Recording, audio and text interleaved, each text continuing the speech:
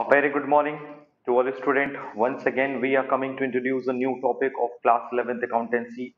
As you know very well, we discussed the very important chapter of class 11th accountancy that is a financial statement of sole proprietorship with adjustment. Before discussing a various practical problem, firstly we revised what is a adjustment in respect of the preparation of the financial statement and which type of the adjustment we already discussed in the last few videos. And in this video, we discussed the last adjustment that is amortization. And thereafter, we will start a practical problem related to this chapter. Basically, this chapter is totally based on the preparation of the financial statement of sole proprietorship with a lots of adjustment. So before starting a numerical problem related to this chapter, firstly we revise what is the meaning of adjustment, what are the treatment of the adjustment and which kind of the adjustment we already discussed. Almost we discussed the 15 adjustment and thereafter we discuss the last adjustment and after that we will start the very important practical problem because in the uh, in the examination in the final examination as well as the unit 2 examination the various question outcomes will become in the examination paper. So let us start the today's class. All the best. Assessment is additional information additional information given outside the trial balance outside the trial balance known as adjustments so what is adjustment कोई भी additional information जो कि trial balance के बाहर given होती है that is given outside the trial balance known as the adjustment basically you know very well जब भी हम ट्रेडिंग अकाउंट बनाते हैं प्रॉफिट एंड लॉस अकाउंट बनाते हैं या बैलेंस शीट बनाते हैं तो उसका जो बेसिक होता है, जो उससे, जो उसका जो उसका सपोर्टिव पार्ट होता है दैट इज़ द ट्रायल यानी हम ट्रायल बैलेंस की बेसिस पे हम trading and profit and balance sheet बनाते हैं। अगर किसी क्वेश्चन में trial balance is also given and the sum of the important additional information are given so such information will be known as the adjustment इसको थोड़ा सा और explain करते हैं. While preparing trial balance please note down it is a very important chapter for your syllabus so while preparing final account that is a trading profit and balance sheet final account the items which are given the items which are given inside the trial balance inside the trial balance trial balance are written are written only one either only once either trading account or profit and loss account or balance sheet यानी कि जब हम final account बनाते थे trading profit and loss and balance sheet तो जब हम final account बनाते थे, जो भी आइटम्स ट्रायल बैलेंस के इनसाइड गिवन होते थे, जैसे rent opening stock purchase trading expensive discount. Such items will be written only once. एक बार उन्हें लिखा जाता था।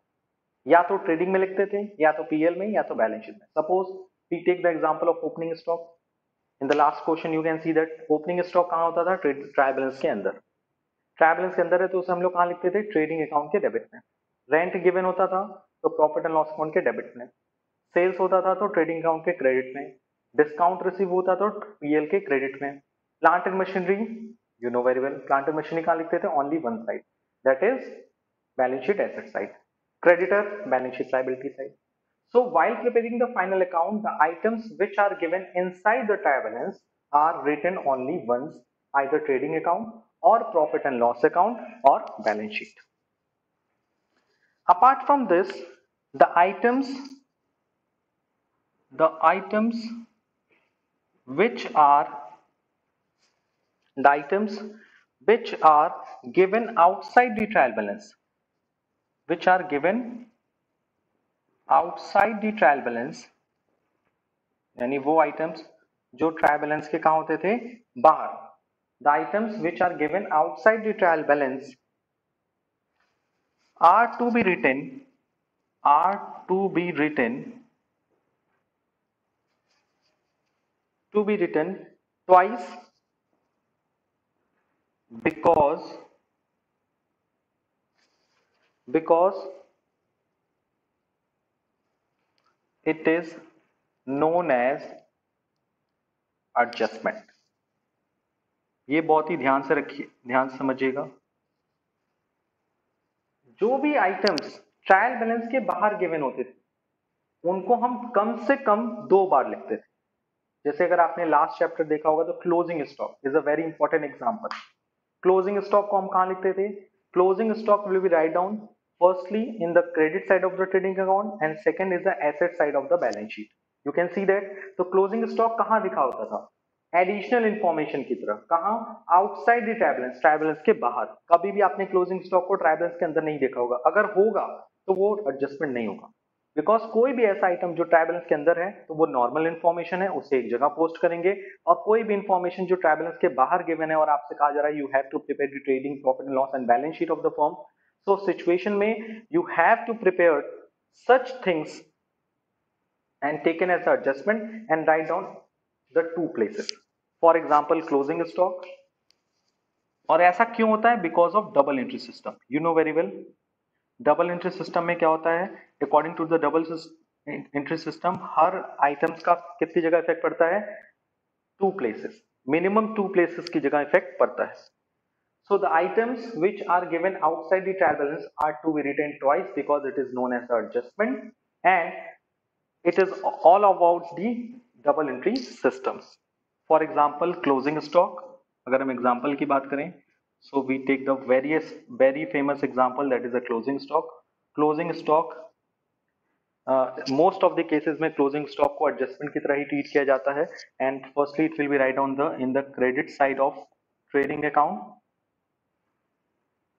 and second effect is assets side of balance sheet okay i hope it is clear And the very important part of this topic that is in adjustment को adjust करने के लिए for the adjustment of such kind of the adjustment we prepare we pass the journal entry so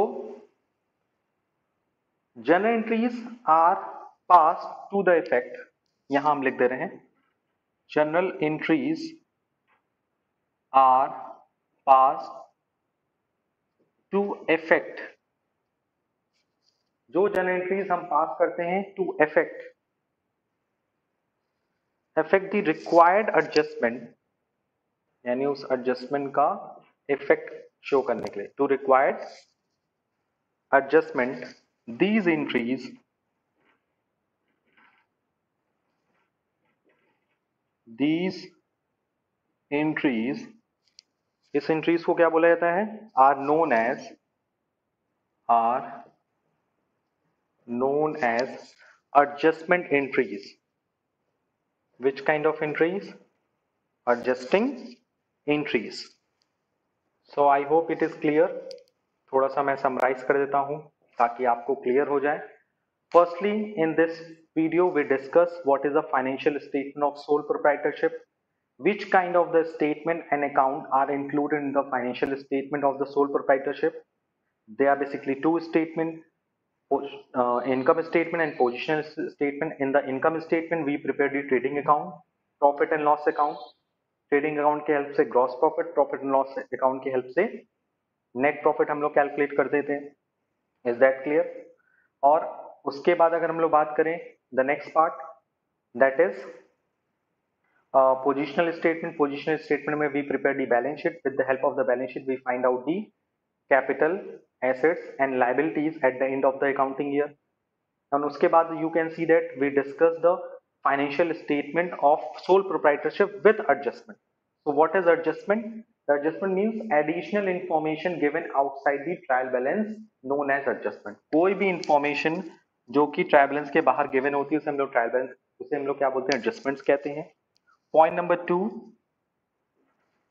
while preparing the final account, the items which are given inside the trial balance जब भी हम final account बनाते हैं तो जो भी information trial balance के अंदर गिवन होती है, उसे हम एक ही जगह लिखते हैं, या तो ट्रेडिंग में, या तो पीएल में, या तो बैलेंस शीट में।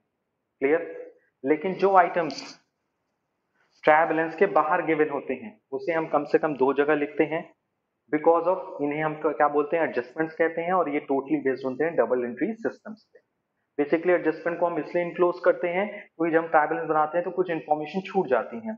कुछ इन्फॉर्मेशन को हम रिकॉर्ड नहीं करते हैं। सो so, सिचुएशन में हम जो छूटी हुई इंफॉर्मेशन है उनको इंक्लूड करने के लिए एडजस्टमेंट्स का हेल्प लेते हैं। For example closing stock generally closing stock is already is given outside the trial balance तो आउटसाइड दी ट्राई बैलेंस के केसेस में हम लोग क्या करते हैं?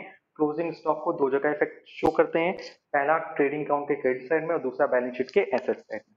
दैट क्लियर एंड एडजस्टमेंट को सिर्फ़ हम ट्रेडिंग अकाउंट में इंक्लूड ही नहीं करते हैं बल्कि इनसे रिलेटेड कुछ इंट्रीज भी पास होते हैं।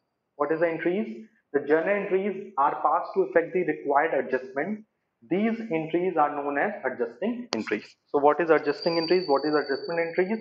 Adjustment entries मतलब adjustment को अपने books of account में इंक्लूड uh, करने के लिए we pass a journal entry like a closing stock to trading account you know very well closing stock से रिलेटेड दो जगह इफ़ेक्ट देखते हैं फाइनल अकाउंट में, उसकी जन एंट्री भी पास कर सकते हैं। The journal entry will be a closing stock account debit to trading account अभी हम लोग उसको और डिटेल में पढ़ेंगे। Okay so this is a journal entry this is known as adjusting entries and these are the effect कितना effect पड़ा? Twice effect closing stock का because closing stock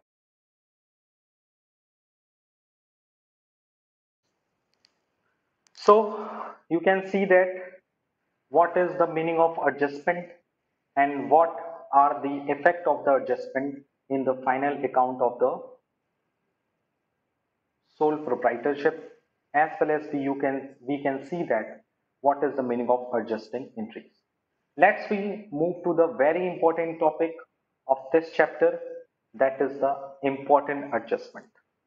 What is the meaning of important adjustment please note down कौन कौन से state adjustment हमें इस पूरे chapter में पढ़ने हैं। इसको पहले हम एक समरी बना लेते हैं and there after one by one we discuss about such kind of the adjustment okay so please note down in your copy first adjustment will be a closing stock मैं पूरा नाम लिखवा दे रहा हूँ। पहले कौन कौन से एडजस्टमेंट्स आपके कोर्सेज में हैं और क्लोजिंग स्टॉक्स को uh, कैसे एडजस्ट करना है सब हम स्टार्ट करेंगे नेक्स्ट सब हम स्टार्ट करेंगे okay okay? The second is outstanding expenses.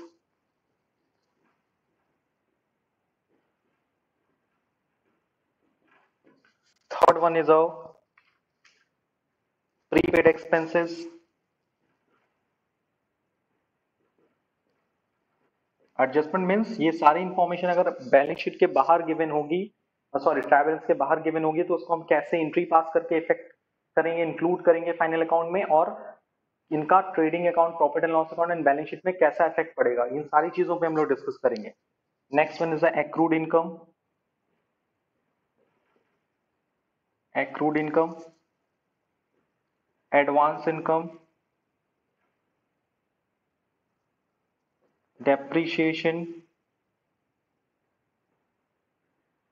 okay so please note down in your copy properly कौन कौन से एडजस्टमेंट हमें पढ़ने हैं?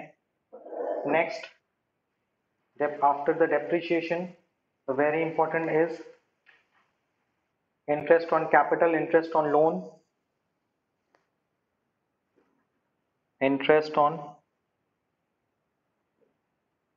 capital interest on loan. Number 9 is interest on capital and interest on loan के बाद there after we discuss about the provision for bad and doubtful debts provision for bad and doubtful debts number ten is provision for discount on debtor इसमें basically बहुत सारी चीज़ें आ जाएँगी। हम nine में provision for bad and doubtful debts की जगह इसमें कई सारी चीज़ें जैसे बैड डेप्स क्योंकि ये सब चीज़ें एक से रिलेटेड होती हैं bad debts provision for doubtful debts and provision for discount on debtor सब चीज़ें इंक्लूड कर ले रहा हूँ, ठीक है? तीन चीज़ें। Number ten provision for doubtful dept is a very important topic ये बहुत कंफ्यूजिंग भी रहता है मोस्ट ऑफ़ द स्टूडेंट्स के लिए। और इस पे कई शॉर्ट क्वेश्चन भी आपसे एग्जामिनेशन में पूछे जाते हैं। Next one is a manager's commission abnormal loss manager's commission abnormal loss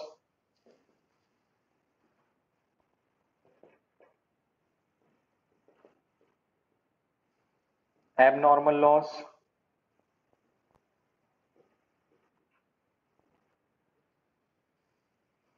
abnormal loss के बाद we discussed the charity sample. इनका क्या इफ़ेक्ट पड़ेगा? You know very well charity sample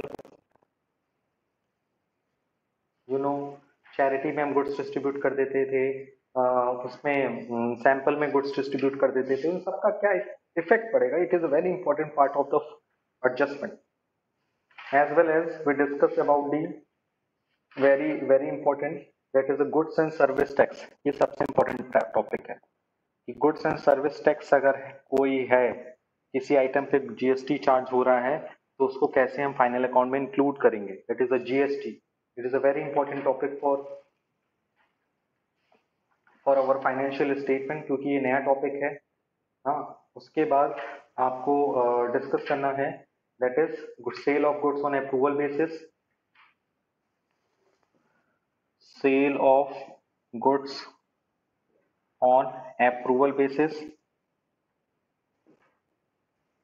as well as 15 will be a uh, amortization depreciation and amortization that is a written off of intangible assets depreciation chapter में पढ़ा है depreciation को भी हम balance sheet में include करते हैं profit and loss में इंक्लूड करते हैं उसी तरह से amortization है like patent goodwill and trademark को अगर हम राइट ऑफ़ करते हैं तो उसका कैसे हम बैलेंस शीट में trading account and P L account में हम कैसे उनको इंक्लूड करते हैं, कैसे शो करते हैं? So you can see that lots of adjustment that is adjustment number one two adjustment fifteen we already discussed in the last few video the adjustment like a closing stock outstanding expenses prepaid expenses, accrued income, advance income, depreciation, interest on capital, interest on drawing, as well as the bad debts, provision for bad debts, provision for discount on debtor, and manager's commission uh, adjustment related to the goods like a drawing of the goods, goods distributed as a free sample, goods provided as a charity, as well as the goods sold on approval basis. Let's we move to the last adjustment, that's the adjustment of 15, that is amortization. Okay, so please note down in your copy properly the last adjustment that is an amortization. Basically, amortization is a similar to the depreciation, but the depreciation term is used for the writing of the value of the fixed tangible assets. You know very well what is fixed tangible assets like a land and building, furniture and fixtures, plant and machinery, motor vehicle, a lots of the fixed tangible assets used by the businessman. And when we are talking about the intangible assets like a goodwill, patent, copyright, know-how, so such kind of the assets can also reduce its value day by day. So basically decrease in the value of the fixed tangible assets known as the depreciation whereas a reduce in the value of the fixed intangible assets will be known as an amortization. So the treatment of the amortization is similar to the is similar to the adjustment of the depreciation in the financial statement of sole proprietorship. So please note down in your copy properly. What is amortization? Amortization means decrease in the value of intangible assets assets for example written off of goodwill patent so कुछ questions में ऐसा होता है कि आपको fix asset के साथ साथ like land building furniture fixtures पे डेप्रिशिएशन लगाने के साथ साथ आपको क्वेश्चन के एडजस्टमेंट में it is also given in the adjustment that is the write off the one fifth of the preliminary expenses so amortization का मतलब कई सारे एग्जांपल आप देख सकते हो, जैसे आपके सामने दिख रहा होगा first one written off the amort goodwill and patent as well as question ये भी कह सकता है write off the write off the one fifth of preliminary expenses. so this will be known as an amortization because preliminary expenses is just like a fictitious asset it is categorized under the fictitious asset so fictitious assets को हम write off करते so how we will show the amortization in the financial statement of sole proprietorship so इसका effect ये पड़ता है in the financial statement of sole proprietorship the first one is show in the debit side of the debit side of the PL account. Okay. And number second is deducted from related assets. Related assets means if uh, we write off the value of the goodwill so it will be uh, deducted from the goodwill. If we write off the value of the patent so it will be deducted from the patent. And suppose if uh, any company of any firm have a uh, preliminary access assets on the asset side of the balance sheet so preliminary expenses को भी हम लोग क्या करेंगे write off करेंगे and write off को हम लोग कहाँ show करेंगे firstly we write off the show on the debit side of the PL account and second is that it is deducted from the related assets in asset side of balance sheet okay so this is the adjustment of the last uh, this is an uh, adjustment of the last adjustment while we preparing the financial statement of sole proprietorship. Okay, so you can see that in this video. Firstly, we just talking about the what is adjustment, what are the features of the adjustment, and how we will adjust the various adjustment in the financial statement of sole proprietorship. Thereafter, we are talking the various types of the adjustment which we already discussed in the last videos, last few videos. पिछले कई videos में हम लोग adjustment पे ही बात कर रहे थे कि क्लोजिंग स्टॉक का क्या इफ़ेक्ट पड़ेगा आउटस्टैंडिंग का क्या इफ़ेक्ट पड़ेगा प्रीपेड का क्या पड़ेगा दैट्स वाई हमें आज रिवीजन की ज़रूरत पड़ी ओके? कि हमें कौन कौन से एडजस्टमेंट पढ़ने थे और हमने कौन कौन से एडजस्टमेंट ऑलमोस्ट कंप्लीट कर we completed all the adjustment in the last very last few videos approximately last 10 to 15 videos में हम लोगों ने यही डिस्कस किया है क्लासेस में डिस्कस किया है कि what are the effect of the such adjustment on the financial statement of the sole proprietorship basically the purpose beyond the uh, discussing about the various adjustment is that you have to prepare the financial statement of sole proprietorship without any any kind of the doubt and without any any kind of the without any kind of the uh, manipulation. Because it is a very easy chapter but it is a very difficult chapter. It becomes a very difficult chapter when you have a not a significant information about the various adjustments okay? So i request to all the students uh, from today's class we discuss the various practical problem related to the preparation of the financial statement of sole proprietorship with a any kind of the adjustment which we already discussed in the last three videos. So आपको पहले से prepare होना पड़ेगा इसीलिए मैंने आपको पहले सारे एडजस्टमेंट के बारे में बता दिया कि कौन कौन से एडजस्टमेंट्स हैं उसका फाइनेंशियल स्टेटमेंट में क्या इफ़ेक्ट पड़ेगा और उसको हम फाइनेंशियल स्टेटमेंट में कैसे शो करेंगे and also we give the suitable example for the better understanding regarding such kind of the adjustment. Okay, so let me start the first practical problem related to the preparation of the sole proprietorship with adjustment. Okay, so please listen carefully and watch carefully. So first of all, we take the question number 16 which are as follows. Listen carefully. Expected of the trial balance as of 31st March 2017. Daters including couple for dishonored bill of rupees 2000, debit 80,000, credit nil, and bad debts 4,000, credit nil. So it is a trial balance given in the question that is a debtor and the amount of the debtor is 80,000 in the debit side because debtor is an asset so it will be shown in the debit side of the trial balance and also the given information is including including couple bill of rupees 2000 which dishonoured कह रहा है इस अस्सी हजार रुपए में eighty thousand rupees में दो हज़ार रुपए टू थाउज़ेंड रुपीज़ कपिल का बिल भी इंक्लूड है विच आर ऑलरेडी डिसऑनर्ड जो डिसऑनर्ड हो चुका। And the second one is the bad debts which are given in the in side the trial balance so you know very well balance sheet trial balance के अंदर जो भी adjustment given होते हैं, जो भी आइटम्स गिवन होते हैं, वो एडजस्टमेंट नहीं होते।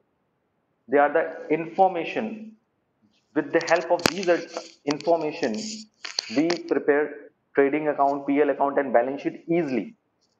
So the second information is bad debts the amount of the bad debts is 4000 and the information are as follows the information number one that is an adjustment adjustment number one is half of couple bill is irrecoverable half of couple bill is ir recoverable यानी कपिल का जो आधा bill है वो अब आपको recover नहीं हो सकता। यानी it will be known as an bad debts and number second is a create a provision for create a provision for bad debts at the rate of five percent basically ये जो question है which are related to the adjustment that is a bad debts and provision for bad debts.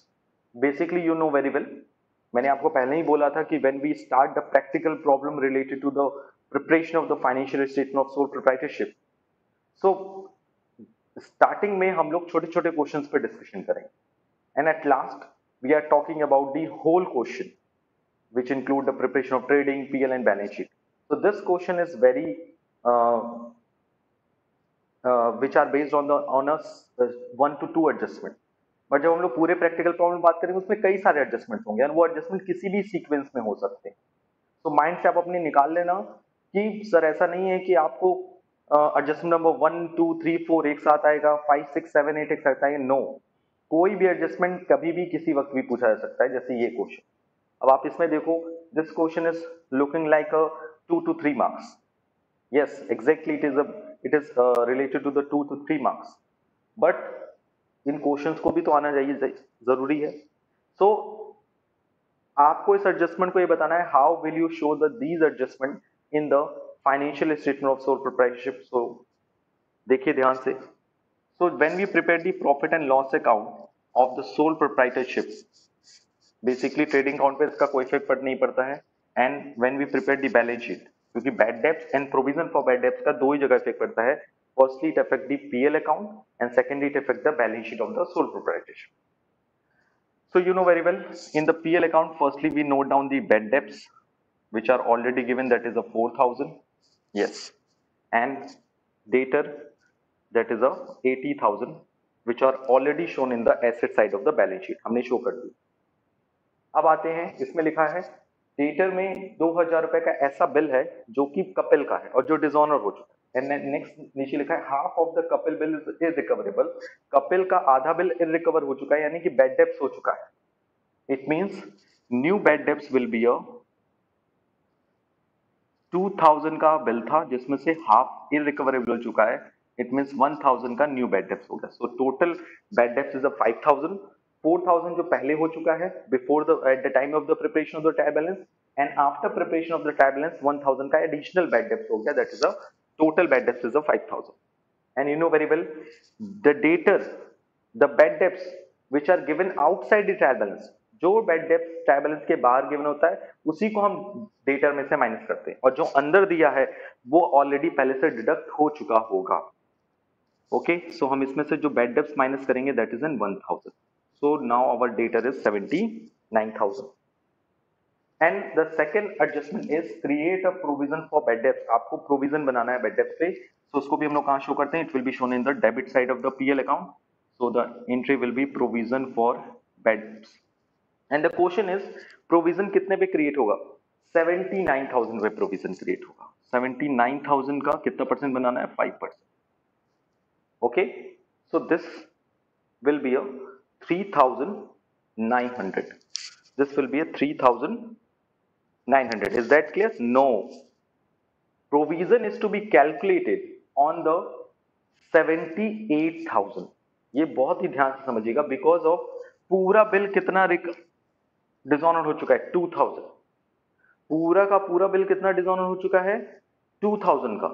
यानी हम जो provision बनाएँगे we have to create a provision on 78000 याद रखिएगा provision हमेशा कितने पे बनेगा? Provision have to calculate the 80,000 minus bill dishonoured अब रिकवरेबल है या नहीं है it is doesn't mind so यही मैं आपको बताने के लिए the purpose beyond the discussing of such question is that कि हम कभी कभी कंफ्यूज हो जाते हैं। कि टोटल डिसऑनर्ड हुआ 2000 जिसमें से इरिकवरेबल कितना है? आधा। तो half amount will be taken as a bad debts but when we create the provision for bad debts तो प्रोविज़न फॉर बेड डेप्स हमेशा किस वैल्यू पे क्रिएट होता है? जितना डेटर अभी प्रेजेंट है। अभी कितना प्रेजेंट है? ओनली 78,000 क्योंकि 80,000 में 2,000 ऑलरेडी खत्म हो चुका है। अब वो आधा रिकवरेबल है आधा कम मिलेगा it is not decided so according to conservatism concept हम जब भी प्रोविज़न बनाएँगे हमेशा नेट वैल्यू पे बनाएँगे एक्सपेक्टेड पे नहीं बनाएँगे। तो so, यहाँ पर थोड़ा सा कंफ्यूजन होता है मोस्ट ऑफ़ द स्टूडेंट को that's why the value of the provision for bad debts is 3900 और यहाँ पे हम लोग माइनस करेंगे provision for bad debts is 3900 so now our value of the provision is now our value is of debtor in the asset side of the balance sheet is 75001 okay so this is the solution of this question the question number 16 which are based on the uh, adjustment uh, that is a bad debt and provision for bad debt तो bad debts तो हमने 1000 ही consider किया है but when we prepare the provision for bad debts so we only create a provision for bad debts after subtracting the dishonoured bill यानी debtor में से हमने टोटल डिसऑनर्ड बिल को माइनस करना है दैट इज़ टू ये अपने दिमाग में रख लीजिए। Okay so I hope today we cleared all the topics very easily आज के लिए इतना ही। Thank you thanks a lot